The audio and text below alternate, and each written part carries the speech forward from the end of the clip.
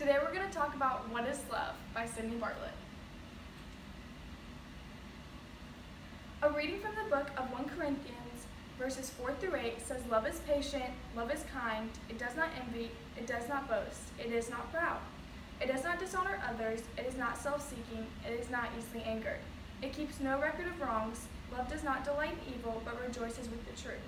It always protects, always trusts, always hopes, always preserves. Love never fails, but where there are prophecies, they will cease.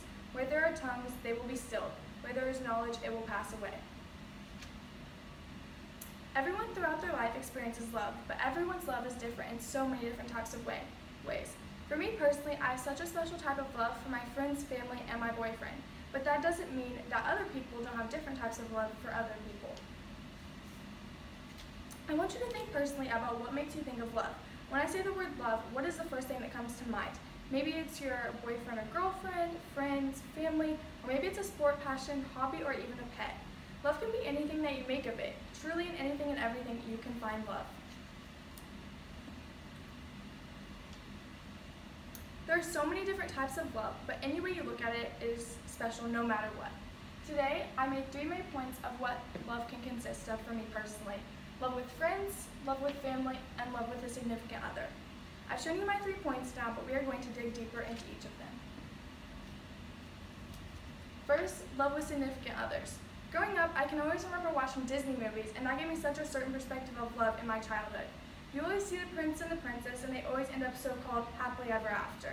A great example of this would be Beauty and the Beast. It shows you that no matter what you look like, you can be loved. It's what's on the inside that matters. Another great example of this would be Snow White. Snow White has a prince that comes and saves her life. As we grow up, we see such perfect examples of love, but when it comes to actually being in love, it isn't always as easy as it seems.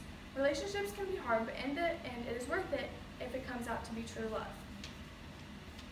Love has highs and lows, but sometimes you must first experience the bad to receive the good. As stated by Goodreads 2020, Cinderella walked on broken glass, Aurora let a whole lifetime pass, Belle fell in love with a hideous beast. Jasmine married a common thief. Ariel walked on land for love. Snow White barely escaped a knife. Rapunzel had to find a new dream. Tatiana kissed her prince and turned green. Mulan left to be a man. Pocahontas stayed to save her land. It's all about the smiles and tears because love means facing your biggest fears. Holly Miller. Being born into love is a totally different feeling than finding love, but it is still just as important. Next would be love within families. I was lucky enough to be born into a very loving family with many siblings, both parents, and many relatives. We were born to say I love you, but it's a big, it's a big word to use. As stated by BetterHelp on June 13, 2018, it is easy to say I love my family, but family love is about more than these simple words. Family love is a special type of love that comes with its unique feelings, behaviors, challenges, and rewards. Once you understand what it truly is, you can learn how to build family relationships by genuine love and care.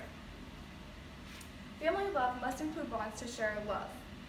As stated by BetterHelp on June 13, 2018, in the context of family love, the term refers to bond characterized by deep affection, respect, loyalty, and healthy attachment. Family relationships are different from other types of bonds. The following characteristics of family love set it apart from the following types of love relationships. Another factor that may go into your type of family love would be a pet that you have had throughout your lifetime. Pets are treated just like your family, and we love them just as much as we do our human family. We treat our pets the same way as we would with our own families. If they're hurt, we bring them to the doctors, we groom and clean them just like a human family member. Lastly, love with friends. Some of the most important love in our life is gained throughout life. Friends are such an important piece of love. You spend so much time with friends and care about them and tend to love them in a friend type way. You would do anything for your friends. We like to have people in our life to make us fit in and make us comfortable. We share the same characteristics, traits, and just like to have fun. As stated by Psychology Today on March 19, 2019, true love with the best friend usually means that you feel an ease in witnessing each other. In most cases, that ease seemingly to come from a sense of deep similarity. Most people tremendously enjoy finding another person who says, oh, me too, in relation to beliefs, tastes, styles, and opinions. Friends are there for you when no one else might not be. When you have no one else to talk to, your friends are always there for you. As stated by Shape on November 8, 2017, good friends know you inside and out. They know what you like, what you don't, and they know how to cheer you up when you're upset. Friends who love and care about you are willing to listen to whatever you have to say and will let you talk freely and openly. openly.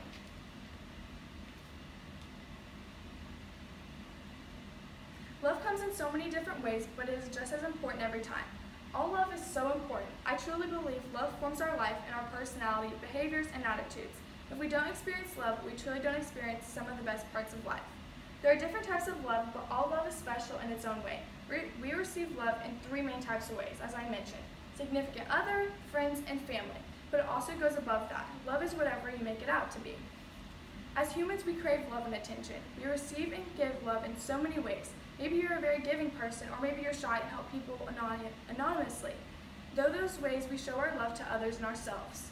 No one ever said that love is easy and it will never be perfect, but I can guarantee that love is worth it. Whether the love is with a, a boyfriend, girlfriend, friends, family, pet, hobby, sport, or anything else, love is a word commonly overused, which isn't a bad thing, but if used in the right way, it really has a special meaning. As stated by BetterHelp on June 13, 2018, love is a word that has been used in so many ways it has nearly lost its meaning.